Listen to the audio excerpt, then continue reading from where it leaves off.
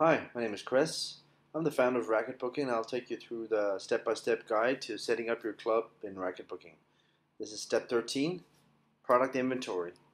So we've added the products to the database and uh, now we would like to monitor the inventory. So go to inventory, select a product and type in uh, the current stock and the minimum stock. Uh, you can see I'm uh, doing this for every product there is. I'm entering 100 in stock and the minimum stock is, is 10.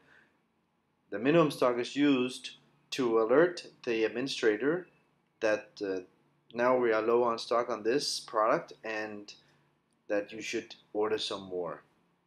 Uh, every time you sell a product, it's automatically deducted in the inventory, so you don't have to control that.